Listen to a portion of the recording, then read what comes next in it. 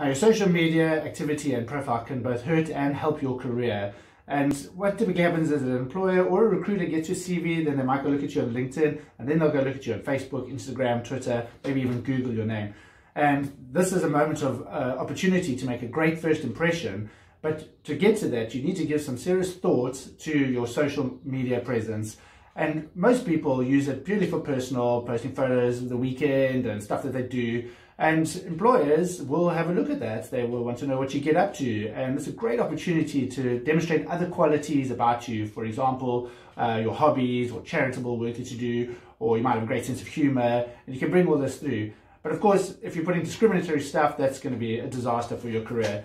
And you don't need to be a saint about what goes on there, but you must put some thought into your social media presence, and you could see really big returns.